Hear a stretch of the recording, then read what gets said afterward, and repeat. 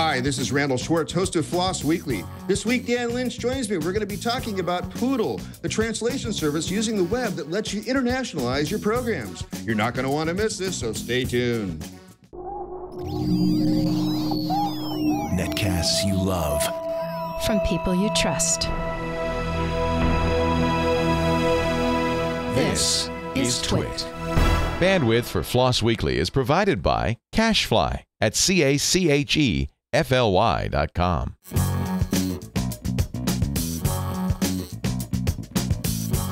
This is Floss Weekly with Randal Schwartz and Dan Lynch.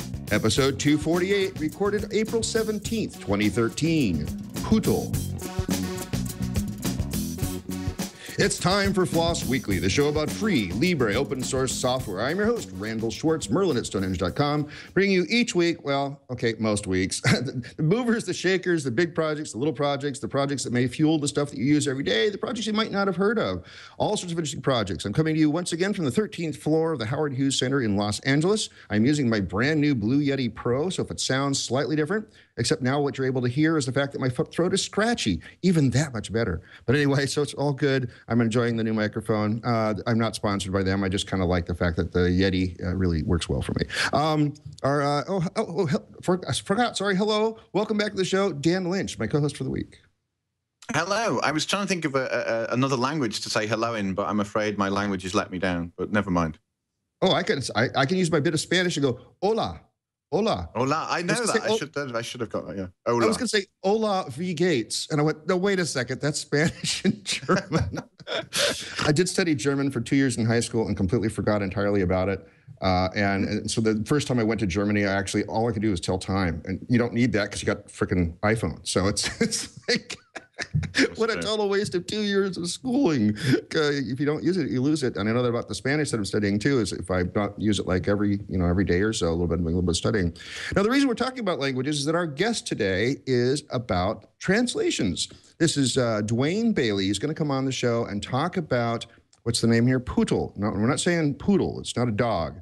P O O T L E. It's uh, an on-site online web translation service.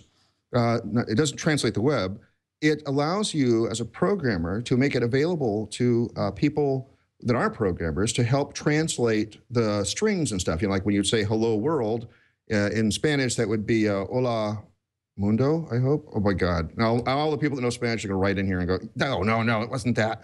Uh, it's just me trying to do this live. Uh, anyway, um, so it, it, would allow somebody who knows both English and Spanish to see the hello world string and then be able to type it in their native language. So uh, we've had, uh, what's the other show that uh, we did a while back? Zapata? Was that the name of it? Sonata. Zanata, there we go. Uh, so we'll have to ask the, our guest to sort of compare this and that. And next week, as if you're not getting enough translation services in your life, we have Weblate, which is yet another web translation service. So we'll have to ask him about that as well. But let's also ask them about him, so that way he gets the, the other guy gets the last word. That'll be kind of fun. Uh, what have you? Um, uh, you have anything to say, Dan? First, before we get into the show. Uh, no, I, I, think we should we should go and uh, find out more about about poodle. Although I, I, I am conscious that it sounds like we're saying poodle, so I'm glad you uh, glad you addressed that one.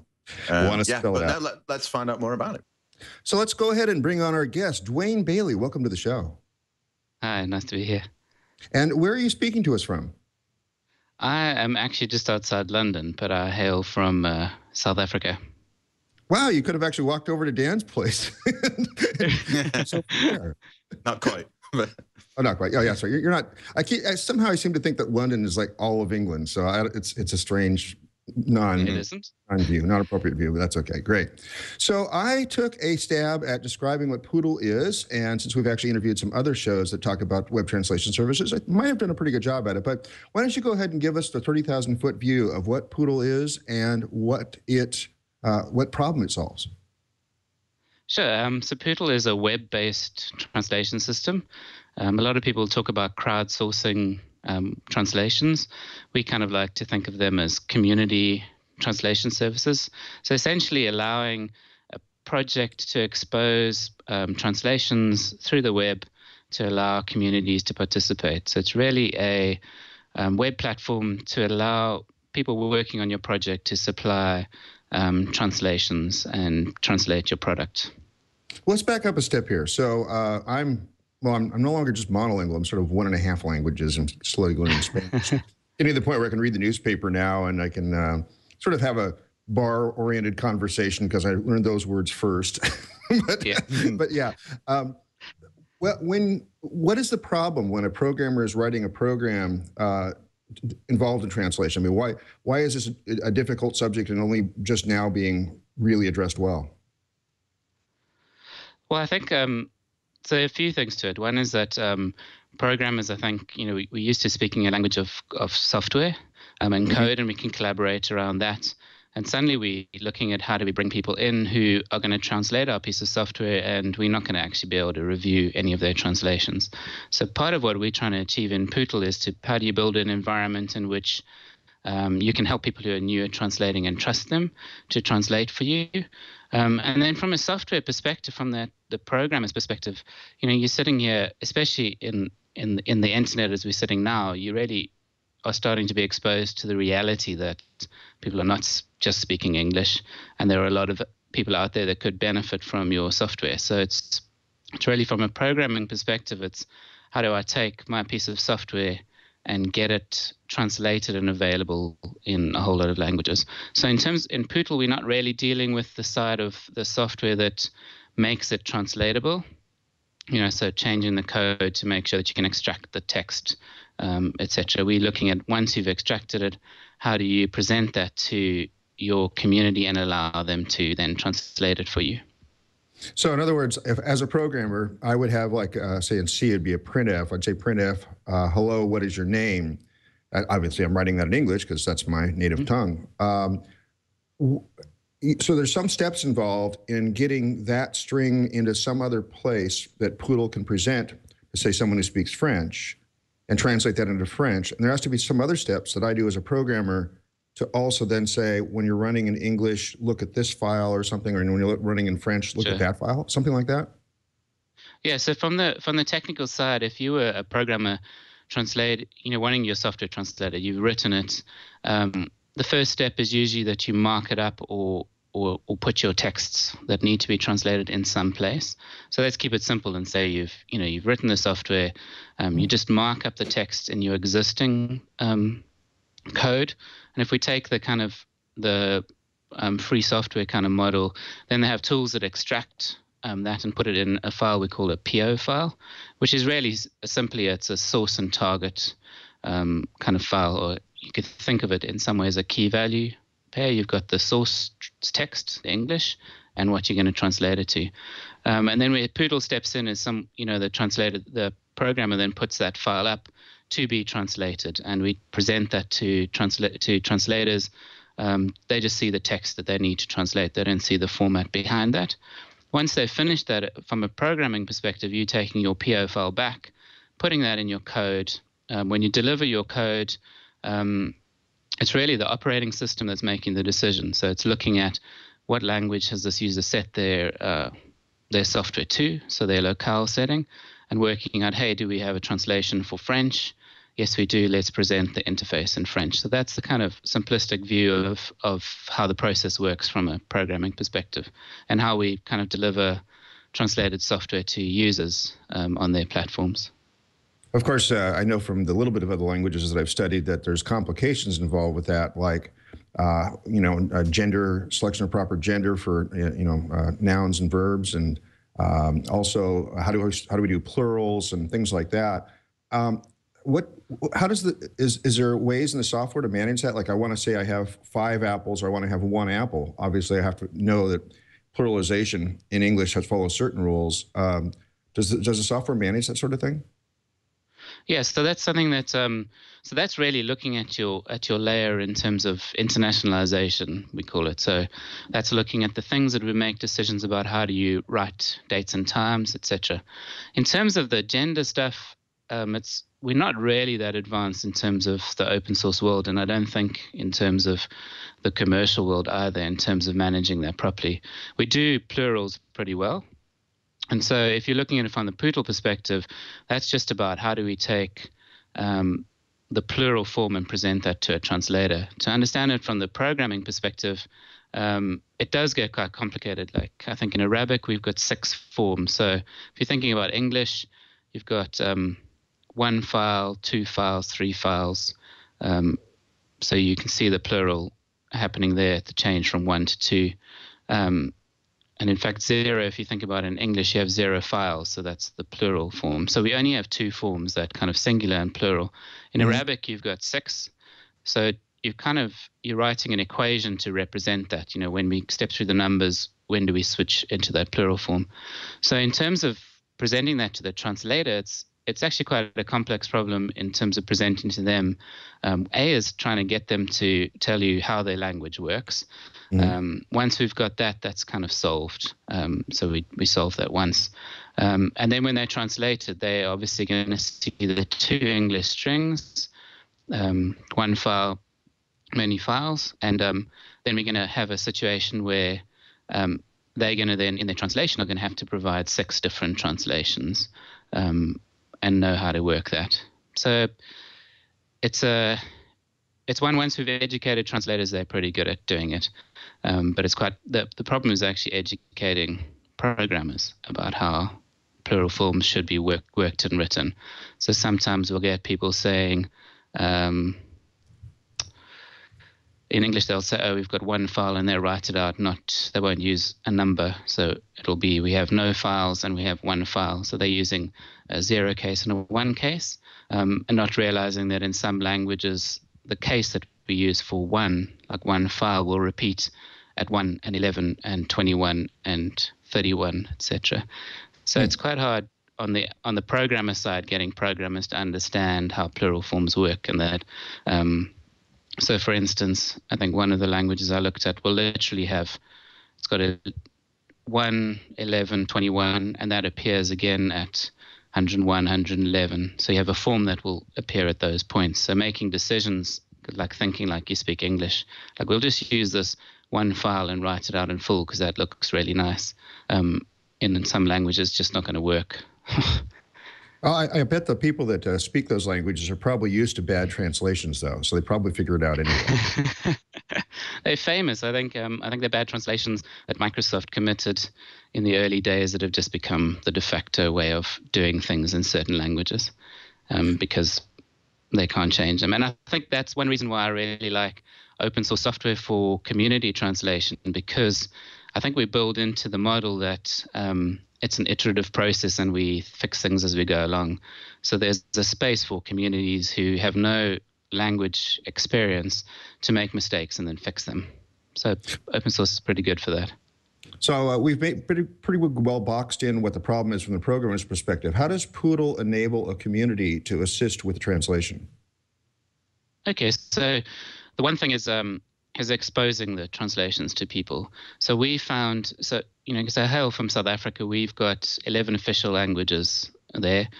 One's English, so that still means we have a problem of 10 languages. And there was a disconnect for me in terms of uh, the technical skills and the language ability. So the people that I could find that could program and could understand what we've just been talking about, even in its in its simple form, um, weren't really interested in translating into a language like Xhosa. But someone who spoke Xhosa isn't really interested or doesn't really know some of the technical side. So we realized we needed to put some something in the gap there, and that this would be a big problem around the long tail languages. Um, so obviously ones across Africa and, and Asia. Um, so where Pootle sits in the gap there is saying, well, how do we take this and present these some of them quite complicated things really, really simply. So um, for the plural form that we've just been trying to explain, we'd just really show people the six kind of spaces where they can type their plural forms in. Um, but from a translation perspective, um, we're looking at how do we build technology around what this person's doing that gives them things that really, really help them translate well. So that would be a really clean, uncluttered interface. Um, the ability to make suggestions to allow non call them non-translators to provide suggestions that other people can review um, to do it in a safe web environment that doesn't require them to install any software. So they're not having to install a special editor. Um, and then in terms of the features that we look at at Pootle is like how do we give people things that could make um, translation easier and better? So that'll be simple things like translation memory which is basically all, all the translations that you, you've done before um, or other people have done before. So when you sing an expression like uh, save as, um, that you've seen how people have translated that before. Um, we put terminology into the interface so that people can see the word that people have chosen for spreadsheet is this and for word processor is this so that we can get some kind of consistency. And then we expose things where people have made some simple um, errors that we find new translators make quite a lot. And those will be as simple as um, not putting capitals at the start of sentences or ending them correctly with full stops. So we have technical checks, um, and we've got all these things around them to make it easier for them to translate well. So it's really we're looking at how do we take lessons that we've learned in the commercial translation industry and put them in a kind of safe, friendly way to a community that might not have that experience, but in a way that it just seems obvious that this is the right thing to do and this is the right information that they need. And uh, I imagine part of the challenge of this is that, uh, you know, especially uh, uh, being a, a, trained programmer myself, I tend to think of interfaces in terms of functionality behind the scenes and, and all that sort of stuff. I imagine, though, that what you're trying to address is the fact that people who primarily aren't programmers are coming to this website uh, to try to figure it out, and you're trying to lower the barrier entry for that. Uh, how, how difficult is that process? in terms of lowering the barrier to entry or in terms yeah. of yeah um, it is quite difficult um, um, it's one it's difficult trying to convince some programmers that they should do this and that it's a good thing to lower mm-hmm. the barrier entry for people um, in terms of um, in terms of lowering the barrier to entry generally we've tried to look at um, taking it when we're working with some of our clients to say um, every kind of step that they're requiring trans- translators to do is to challenge a lot of those things. So we have a lot of people who say, well, um, we do our stuff in version control, which is great. We use version control for our software too. Um, but that's a barrier to entry to our translators and trying to communicate that to programmers to say, look, um, Git's really great and easy to use, but maybe it's not the most important thing that this translator has to learn.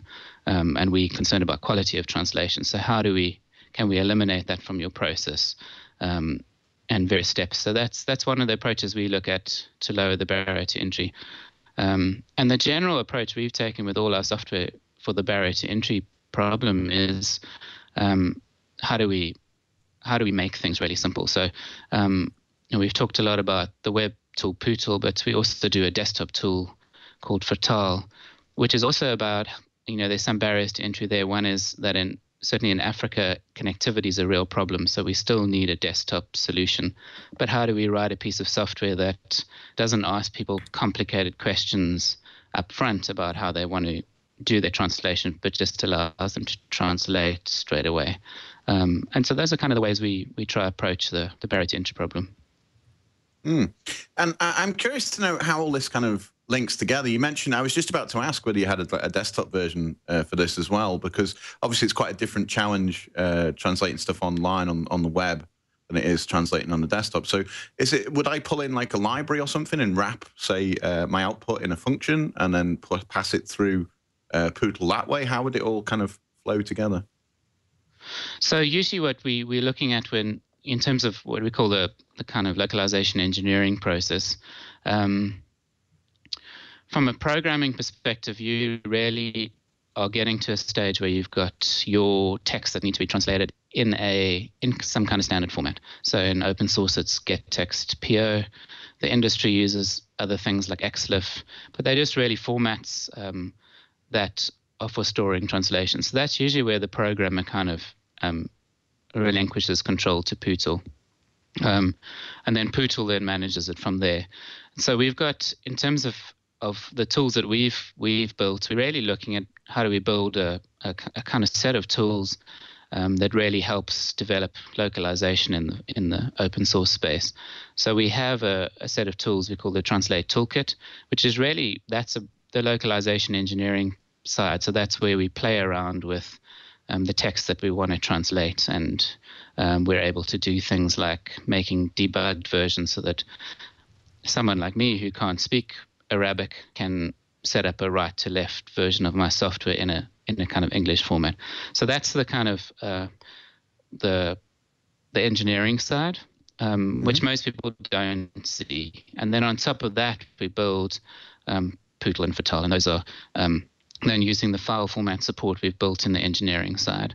So it's really, you know, we've been able to leverage quite a bit by building the the basic infrastructure. But from a programming perspective, as a programmer, you're probably not going to um, be using those kind of tools directly. Um, mm-hmm. But you're looking at getting yourself to a localization format. And if you've written your own format, um, if you're mad enough to have done that, um, then extending the Translate toolkit um, is a way to then you know add your format to that, and then all of the tools like Pootle and Virtaal then just inherit the ability to understand your format, which makes it pretty powerful. Mm. Yeah, I mean, it sounds in- incredibly powerful. Um, I suppose we, we should step back a little bit and find out a bit about the kind of history of the project and how, how it got started. So, how long has, has been around and what kind of kicked it off? So, Pootle, we released Pootle in about December, I think it's December 2004. Um, mm. And actually, we were working on, on tools before that, um, actually for a decade now, I think. So, the first tool we wrote was um, was part of the Translate toolkit and was allow, allowing us to easily translate the Mozilla suite. So even before the days of Firefox, looking at localizing. And, and from a South African perspective, we were looking at that and saying, what are the tools we could choose to translate that would have the highest impact? So obviously, an email client that runs on Windows, Linux, and Mac was a great choice, but it was hard to localize. So we built that was our first tool, um, and then we quickly hit the the reality that um, when we wanting to build a community and not use paid translators, we need something easy. Um, so yeah, we released that in December 2004, and some of the first places we used it was doing translatathons at a number of universities, um, and we've done some pretty successful ones around that. We had a, a translatathon of about a thousand people in Makerere University in Uganda. So that was quite a nice way to see it scaling and seeing the ability to distribute work um, for on on a web platform and, and it working quite well. Mm. Uh, it, yeah, I mean that's a, a, really really cool thing to hear about. Actually, I mean it's 2004. I was just thinking that for the kind of stuff we usually get on the show, often it's much kind of like you know people have started a couple of months ago or a couple of years ago. So you've got a good good history there. So I, I, imagine the software and the translation, obviously the software improves over time, and the translations as well, because it's kind of drawing on all the knowledge of these people who are adding translations. So has that really leapt forward over the years with all the kind of stuff people are adding to it? Yes, I think the quality of the software we've seen grow quite a lot. So our software, we're seeing it improve. Um, in terms of the translations, um, it's kind of it, it's a I think I think it does. Um, we we take the view that any first translation in any language is going to be rubbish, mm-hmm. which is very hard to tell people when they start. Um, but basically, they need to work from the principle that they know nothing about how the language works, really. Um, and yeah, so the, the, the translations improve. Um, but because Pootle is just used as a platform for a lot of people, um, it's their, it's really their communities that, as they grow, are improving the quality of their translations. But we are lucky in terms of the open source world in that we can draw on all these translations. So um, we do run a service that basically hosts um, all the translations from places like LibreOffice and Mozilla and KDE and GNOME, and allows that to be distributed. So someone translating um, some eclectic piece of software um, will get all the translations from um, from from all of those those those pieces mm. of software. And if there's overlap, that will improve. But I think as we drive communities towards making terminology and and and improving the quality, yeah, I think generally it does improve across the board. Mm. And and it seems like a sort of area where you, you could get a lot of duplication of effort of people constantly translating the same things, as you say. So it's really great that you can share stuff from big projects like LibreOffice and other things yeah. with the smaller projects. That sounds like a really cool idea. Um, so I'm, I was wondering about web browsers and how that kind of affect because web browsers have changed a lot since 2004. I'm pleased to say uh, web browsers have changed a lot since 2004, um, and they've obviously they've leapt forward and they've changed stuff. Has that affected how you guys do your work at all? Has that affected how you, what possibilities for you with, uh, with uh, yeah. uh, the web front end?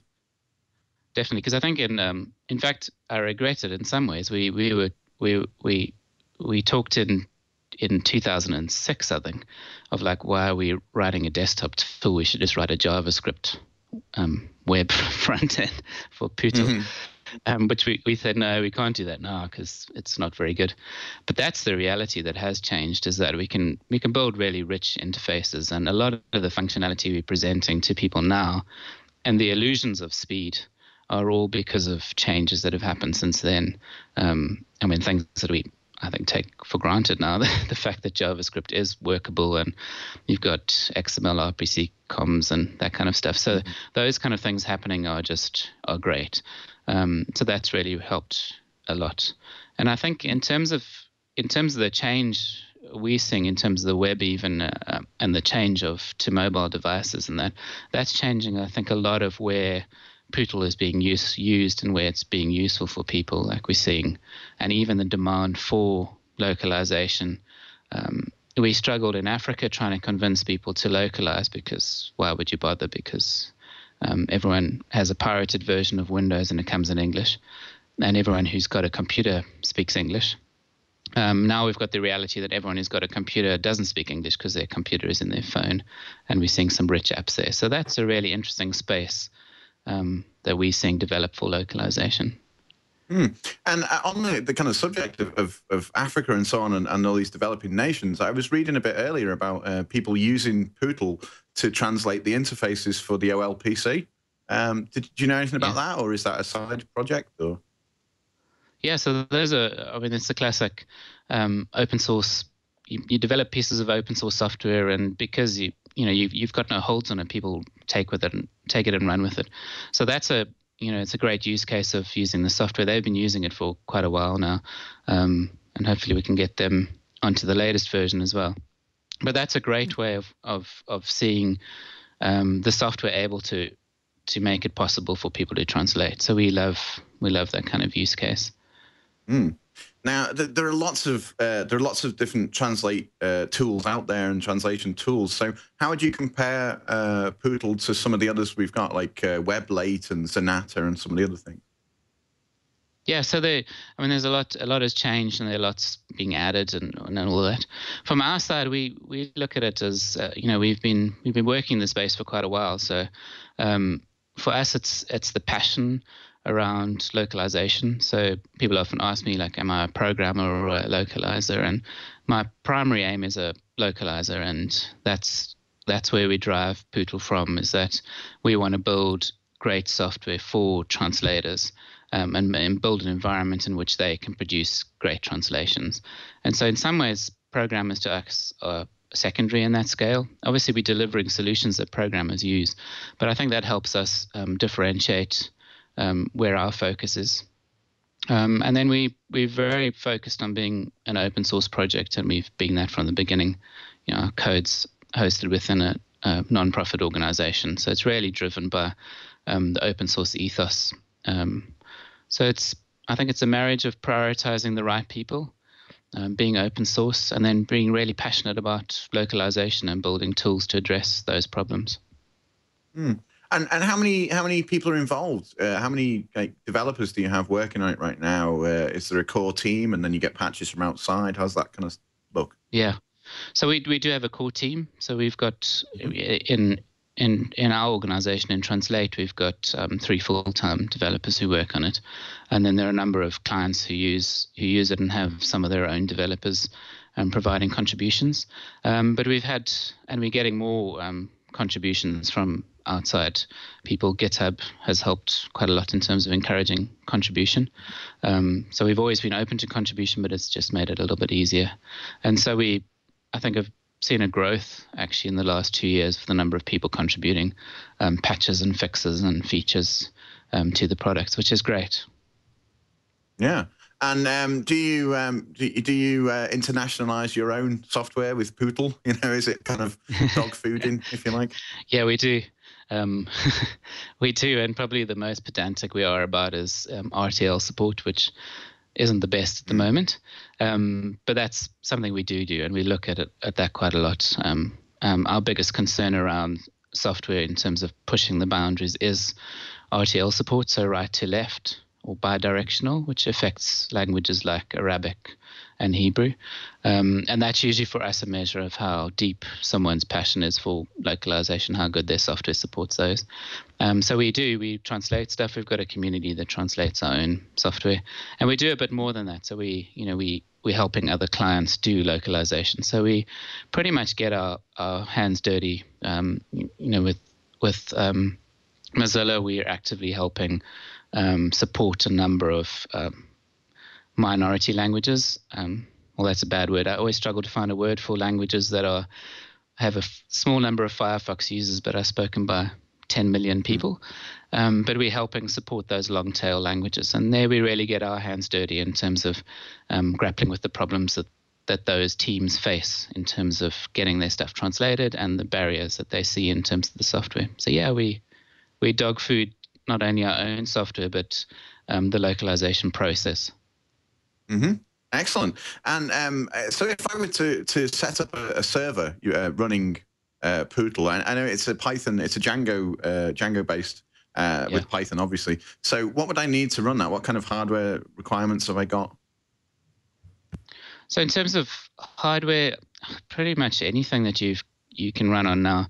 Like we run it on some really low end Linode virtual machines, and we've oh. run it on just about anything. Um, so it's got quite low um, requirements. You know, if you wanted to throw it up quickly for a sprint, it's pretty low.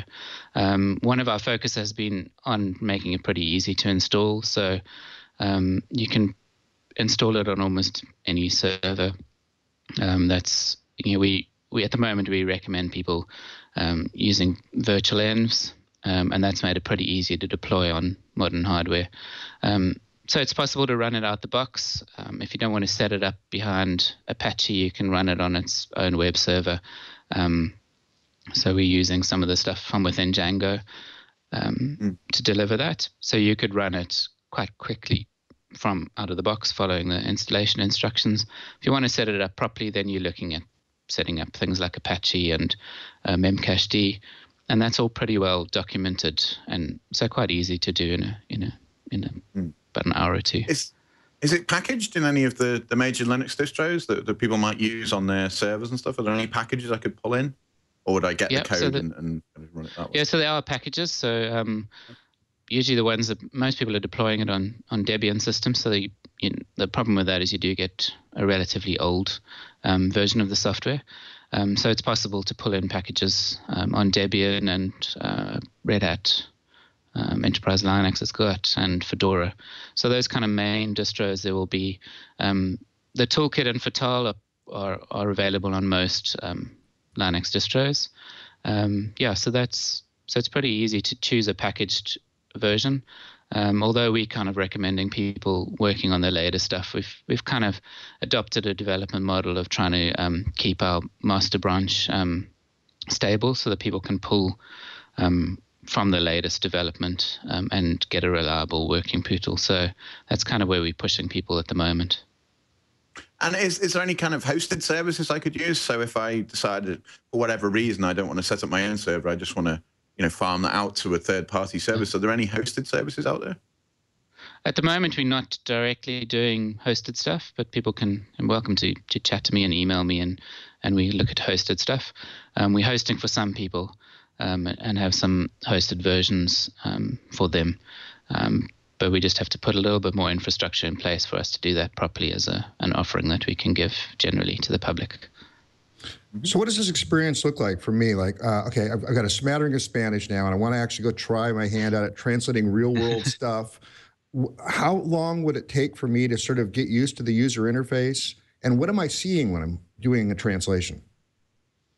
Okay, so um, it's pretty it's pretty easy to get involved and get get to it. So um, basically, if, if, someone pushes you to um, your language, so so you're looking at Spanish. They say look at Spanish on on the server.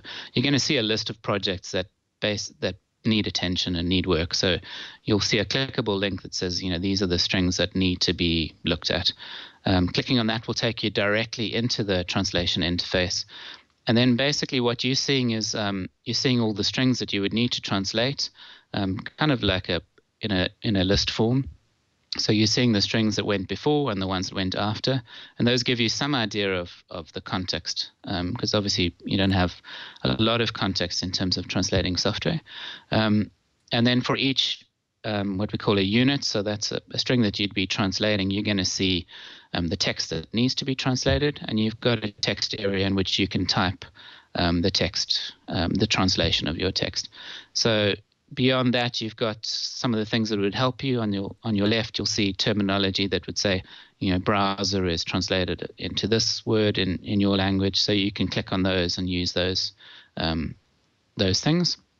And then if it finds if we find any kind of previous translations out there, um, those will be presented below, and you can click on one of those, make some adjustments, um, and submit it as your translation. So straight away you're in. You can either, if you've got translation rights, you can submit them as a translation, they go straight in. Um, or if someone's given you suggestion rights, same thing, you can click on it as a suggestion. That'll go to that'll go in. It won't become an official translation, but someone in who's maybe got more rights in the team would be able to look at it and just review those and um, uh, um, accept them or reject them. And uh, so I was just going to ask about editorial process because I'd probably want to tell people I'm not that good at it yet. So please have somebody else check it out before it goes any mm-hmm. further. Yeah. Uh, is there a way for me to indicate my skill level to have people understand that they should uh, always review my stuff? So what we look at is you know the, the team that's building so we, we kind of devolve that to the team's responsibility. So the teams are setting up who they want to give rights to, etc. So any team that's giving you rights would look make a decision about whether they want to give you full rights or um, want to limit your rights until they're happy with your skills. So we kind of devolve that to the teams and make them allow them to make their decisions around um, how best to interact with you. Cool. Uh, a little more technical questions, actually. Um, so, is this did I hear right? This has always been a web application. Yeah, so Pootle's always been a web application. Obviously, there's the, the, the, infrastructure behind that hasn't been. So the toolkit, the Translate toolkit that understands all the formats, that's a desktop. That's a um, command line tool that we've been using. But Pootle's always been uh, a web front end. Well, then you probably weren't using Django to begin with, because I don't think it was around in 2004, right? no. So we used our own um, framework and then migrated to Django probably uh, two, three, three or four years ago, I think. Um, and that's actually proved to be quite a good decision. It was difficult at the time trying to find a, a, a Python framework for the web. Um, so they were all kind of, it was very new. There wasn't much out there. Um, but Django has proved to be a good choice, luckily for and us. And I see you work with uh, the, all the popular databases, SQLite for a minimal install, and but also uh, Postgres, uh, which I really appreciate support for because a lot of people don't support Postgres, and also yeah. of course MySQL. Uh, what what um, what where where did your choice of Django and probably even ultimately Python come from? So the choice of Python was um, you know, um, one of the first people that started helping us on the tools was a Python developer. Mm-hmm. So the first um, tool we wrote was basically driven by his um, his choice of language. Um, so at the time, I had I had no um, kind of preference for languages. Um, so that's why we started Python, and it's certainly from the command line side, it's been great. Um, it's worked out well for us with Django. It's been a bit more difficult writing desktop clients. we we use uh, GTK um, for our desktop client, um, and that's worked okay. We, you know, we've managed to deploy software on Windows and on Mac, um, but it's been difficult. It's difficult on Mac, um, mostly because because we're writing an application to allow people to translate. Most people who've de- deployed products on Mac are not really worried about um, non-Latin input of text. Yeah. So, um, you know, so if you're writing an IDE for for the Mac and using GTK, it's fine. You can use kind of normal Latin input. So that's really that's been difficult for us there. Um, but it's great being able to have a language that's been able to allow us to deliver on the command line and uh, on the web and and GUI apps. Um, so it's proved to be a really good choice. I think I, I really love the language Python's grown and I've grown up with it. So it's been a good choice. Uh, what's I, am not familiar, and you, you probably know the answer to this way better than I do. Uh, is there uh, are there rules about using say, something like Google Translate to get a first order approximation, or dropping it indirectly? Um, they're not really rules. They're just you know it's good good form, and it's quite difficult to to communicate that to young translators. So there are two things. One, Google Translate doesn't exist for most languages. I mean, it supports a lot of languages, but it really yeah. doesn't exist. Um, and it supports some languages quite well, and some languages it doesn't really support well at all. So the quality of translation varies quite a bit. Um, Google's great. Um, I mean, they popularized the whole idea of just translation. So being able to find a Dutch website, news article, and read it in English. Um, it's really good at that. But in terms of providing really good soft good software translations, is not very good. Um, so when people understand the weaknesses and the strengths of Google Translate, it's great to be able to um, get an idea of, of terms that they might want to use. Um, the risk is always that you start translating, making your translation sound like Google Translate or Google Translate starts influencing it. So I think that's why we really focus on the kind of terminology choices, getting people to make terminology choices um, and build terminology banks up um, to do translation. Um, so there are a lot of risks around using Google Translate, unfortunately. Okay. Oh, well, good. It's, it's actually, I thought you were just going to tell everybody it's forbidden, but uh, it sounds like you're just saying, well, you'll find out eventually that it's not all that useful uh, when we're doing real stuff. So cool. Hey, uh, uh, okay, so how how I, I, think you've been with the project since the beginning. What attracts this for you? Why are you still doing this after ten years? I don't know. ten years. Any other things to be doing after ten years?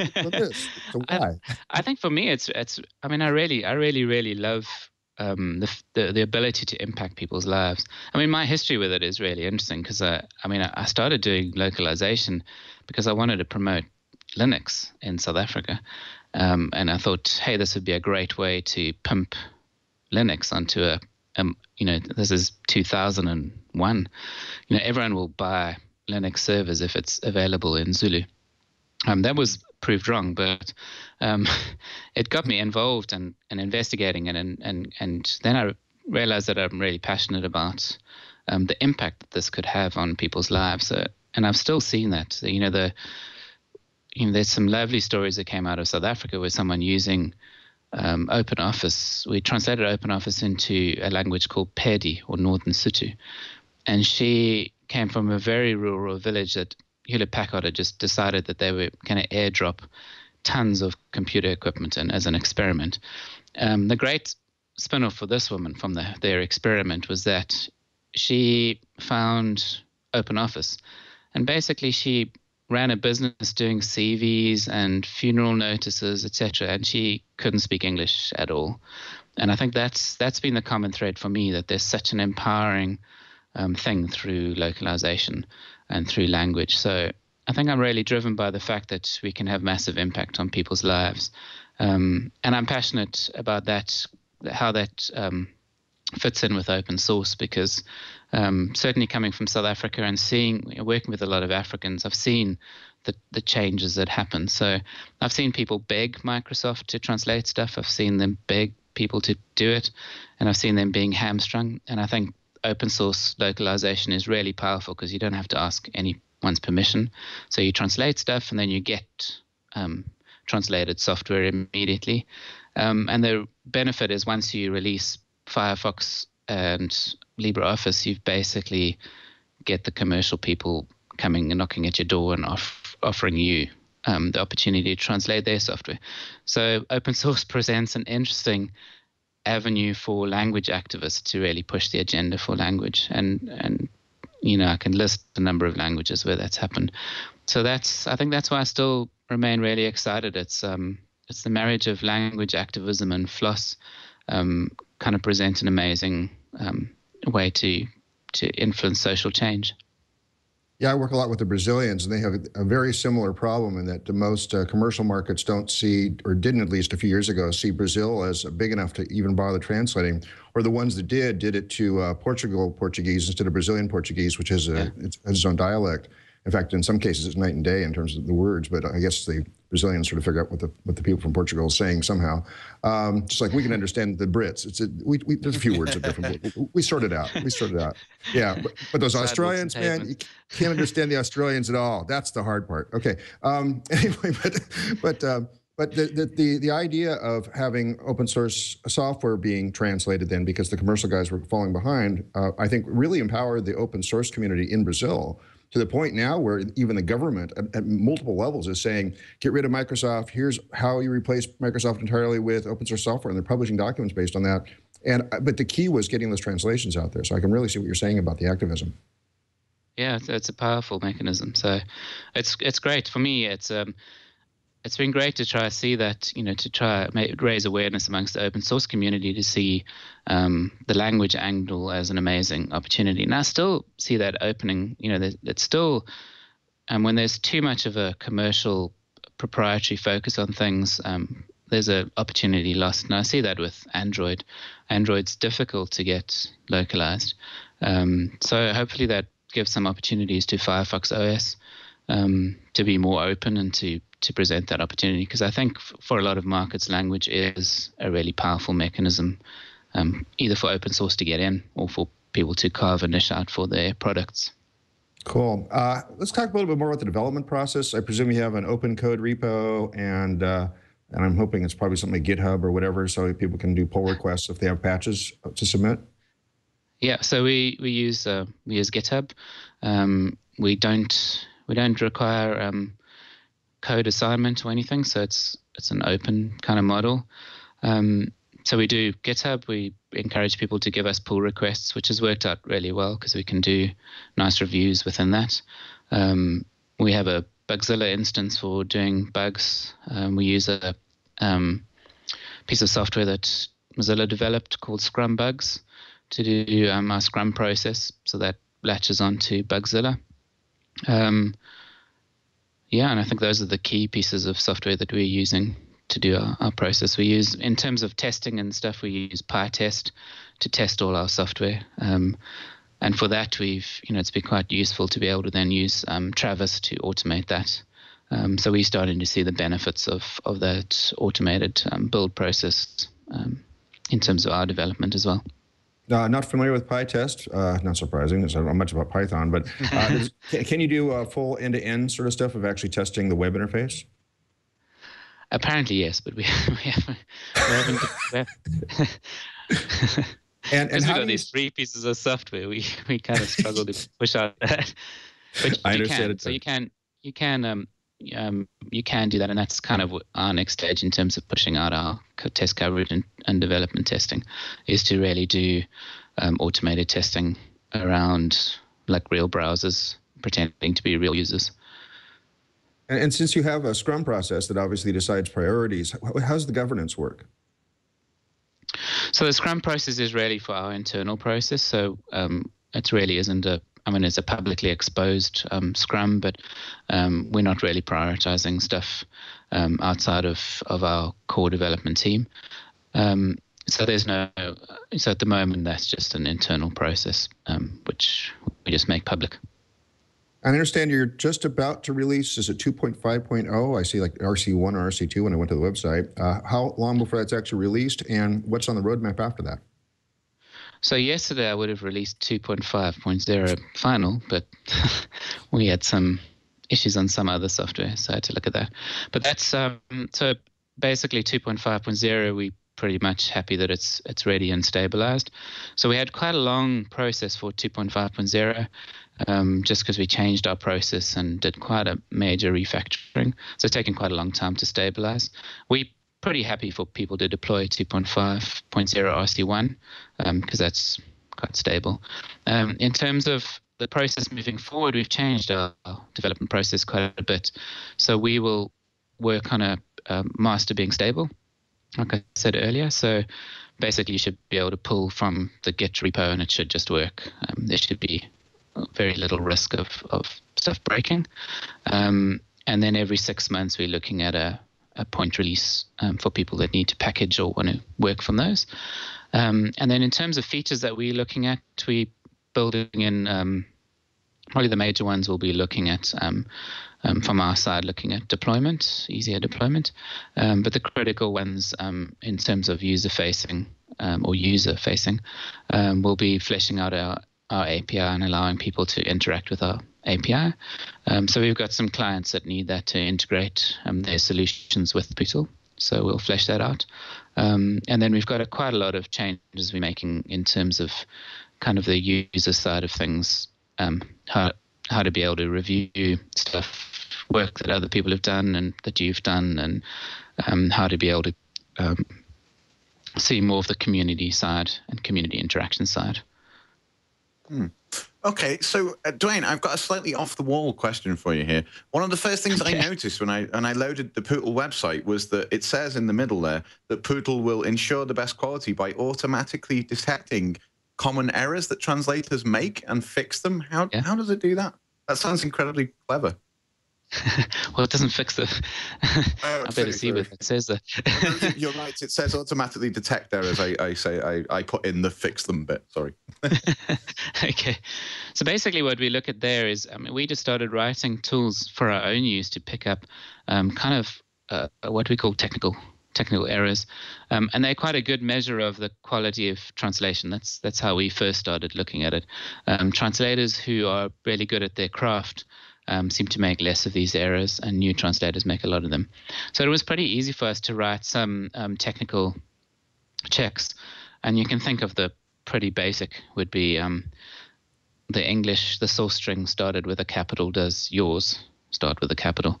Um, so we wrote a, a number of those tests. We have about 40 to 50, I think, at the moment, um, just to do some pretty simplistic stuff like that.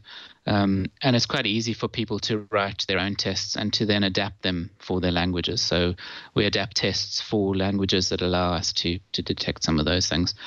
And we'll keep growing those things to be able to do some other, we hope in time, more sophisticated tests around terminology. But how Pootle, in terms of Pootle working with that, so and when translators are translating um, uh, and they're going through units, it's it's not live at the moment, but um, you know if they were reviewing units, they'll see um, any of those checks that fail. Um, they're able to either see them while they while they're editing, um, or they can step through those. So we categorize a lot of them, um, whether they're fatal kind of errors or just cosmetic. So a lot of things are cosmetic. whether they use correct capitalization is a cosmetic kind of issue. Um, but it allows us to check and catch things like, which are uh, very common errors, which are people translating named variables. So if you've got a variable like dollar file, it's very tempting to translate that to in Afrikaans dollar laer. So those kind of translation errors often often happen. Um, so in Pootle we expose those. So the one view that you you know when you come into your project for for say you're translating Afrikaans, um, one thing is you're looking at how much work needs to be done. The other way is looking at um, which checks are failing, and it allows people to quickly enter into those types of checks, um, find the errors, and then correct them. That's uh, fascinating. I, I'm interested in the technology there. Are you doing that all with just simple regular expression writing, or do you have a higher level description language for categories of errors, or what? Well, so it's quite a. I think regex is a proved quite a problem because they're quite expensive. So we've tried to avoid some of those. Um, but some of them are, are pretty easy to, to set up once you understand the problem that you're trying to address. Um, but we kind of have, we built a framework um, that allows us either to look at um, the text as a source target kind of concept. So we're just looking at the strings. We don't care about any other kind of data. So um, if you're thinking in terms of the Pootle interface, that's the English text and your target translation. And then it's easier to be able to trans- to write any function um, to extend that because it's just a it's just a function that inherits um, the ability to know that it's it's going to get a piece of source text and a piece of target text and it must return true or false whether it fails or succeeds. Um, and then another level which allows us to then be a little bit more elaborate that takes the whole unit. Um, so it takes a lot of the meta information. So is this um, is this a unit that has that occurs in a certain part of the software, so we can adapt the test's behavior, knowing that it comes from the help documentation or, or whatever. So some of that is um, is uh, project specific. So we do adapt the tests, you know, um, whether it's Mozilla or LibreOffice or whatever, we adapt um, some of those tests for that.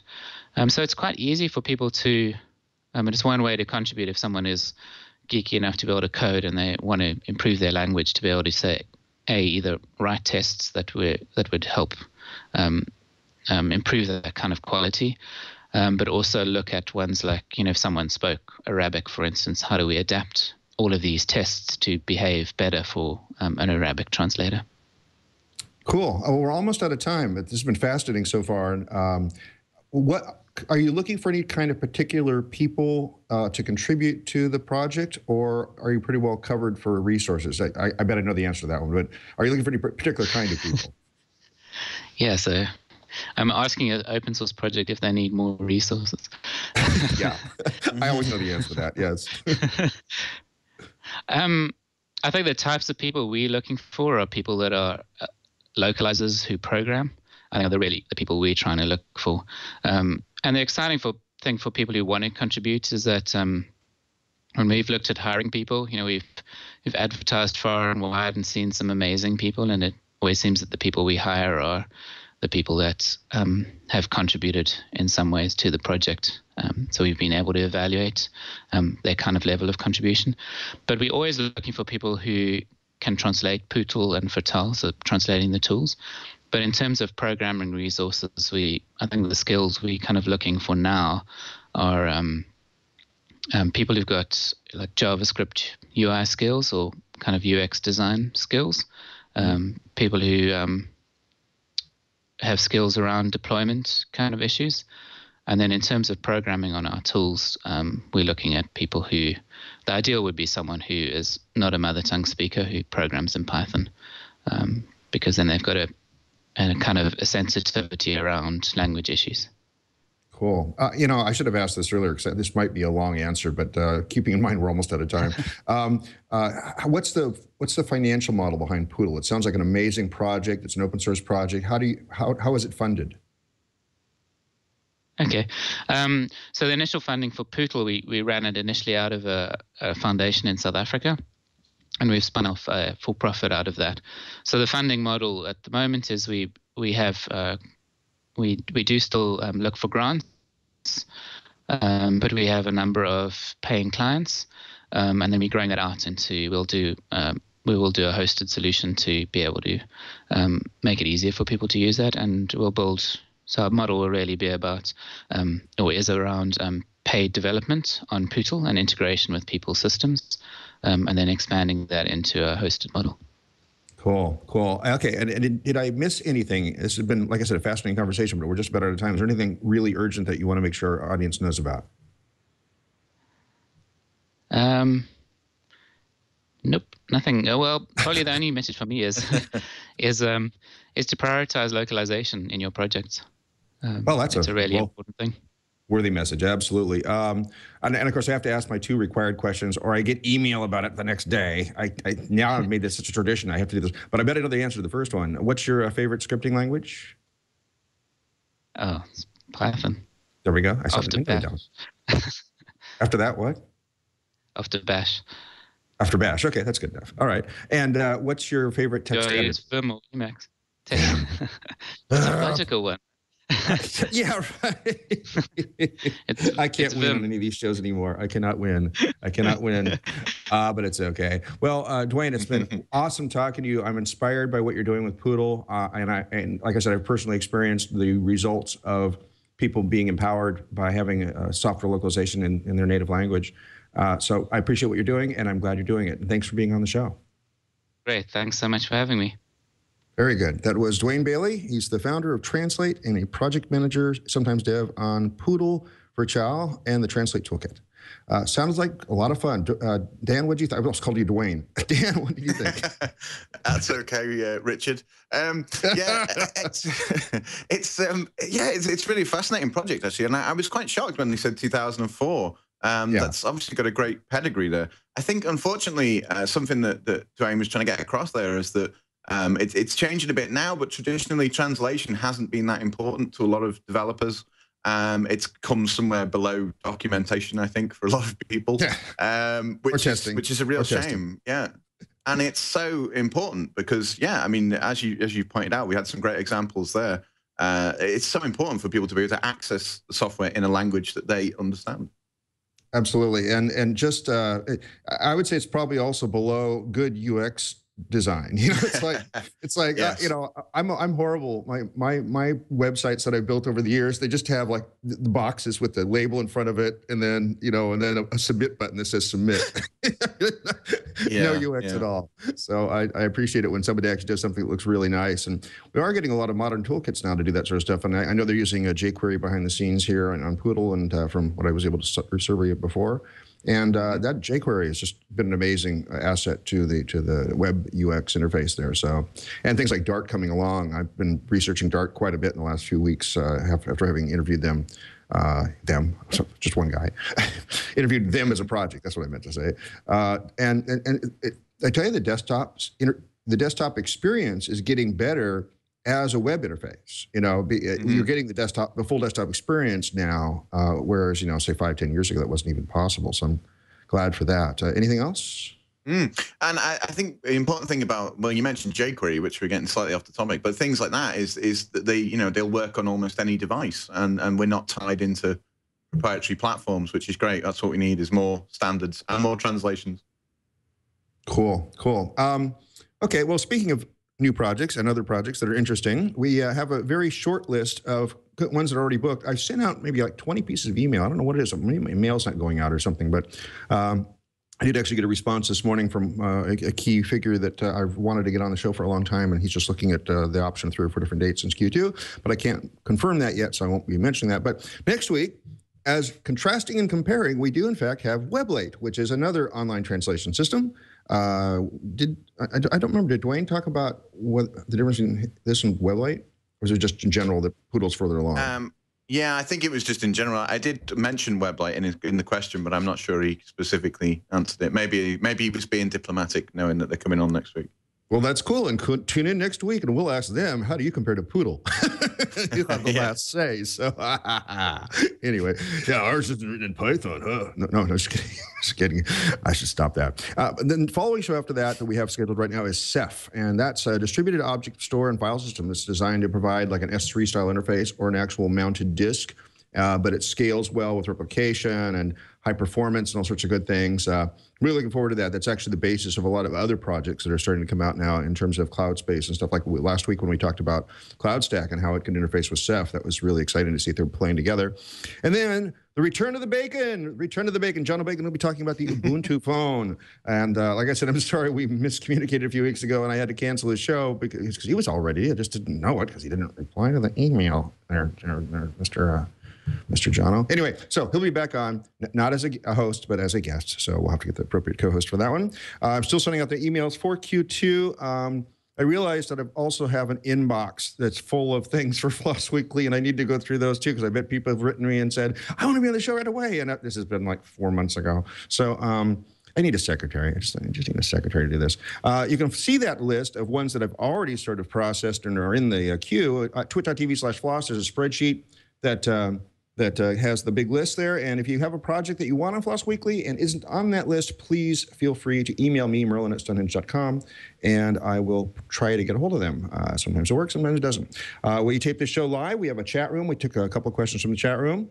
Uh, you can uh, go to live.twit.tv at 8.30 a.m. Pacific time on Wednesdays. Uh, please check the schedule at twit.tv slash floss uh, to know, or the spreadsheet link from there, to find out when we actually have shows, because we've got a, couple shows we got to skip coming up. So uh, be sure to go there. And occasionally we do show on, a, on an odd time, but that's usually what we're doing. Uh, you can see what I'm doing by going to Merlyn, M-E-R-L-Y-N, on Twitter or Identica. But mostly I'm on Google Plus these days, Randal L. Schwartz on Google Plus. I talk a lot about what's happening for me, not just technical stuff. I'm actually talking a lot about my new way of eating that's uh, gotten me down 45 pounds. Uh, at my, I'm now at my goal weight, and it's six inches uh, smaller around the waist, and my blood pressure's back to normal. And this morning I'm drinking what I'm drinking almost every morning, which is tea with a, a teaspoon or a tablespoon, depending on what I feel like, of coconut oil in it. I tell you, it is such an amazing taste and full of uh, MCTs, uh, medium chain uh, uh, hydrocarbons. So they go right into your bloodstream and provide energy right away and good energy for a long while. Um, I will be missing the show in two weeks. In fact, related to my new style of diet, I'm going to be on the low carb cruise, the 2013 low carb cruise, with about 150 other people that are all like minded about that, including my mentor, Andy Lopez, who taught me all about this. I'm going to tell him I mentioned him on the show, and he'll probably buy me a drink. So good. Uh, that's enough plugging for now. Oh, anyway, even though I'm going to be gone, the show is still slotted. Uh, we don't have a guest for it yet. I'm working real fast on that, but uh, hopefully uh, uh, the show will still go on, uh, even though I am going to be on the cruise. I'll be back the following week, though, probably completely forgetting how to do the show again. There we go. Dan, anything you want to plug today? Uh, yeah, well, just the usual, really. If you want to head along to danlynch.org, which is my website, you can find about uh, find out about, I should say, all of the podcasts and things that I do on there. Uh, much, lots of stuff about Linux and open source, lots of stuff about music, lots of random stuff, uh, all kinds on there, and also links to all of the social networks. So obviously Twitter, Google Plus, uh, Facebook, all of those kind of things. So yeah, come and say hello. Do you have a random number generator on your site too? I don't know. I should do, shouldn't I? I should Yeah, do now. I, I need to translate my site now as well. Put a little, put a little, uh, put just a little, put a little heading, and then below it say random things, and just say here's your random number for the day or something. That's a good idea. Yeah, like the magic eight ball or something. I'll have like a magic eight ball on the. Magic eight ball Yeah, that's a really go. good idea. There you go. See, yeah, I this is what I know how to do. I, I know how to do it as a programmer. I just hate doing it as user interface. It's silly, silly for me.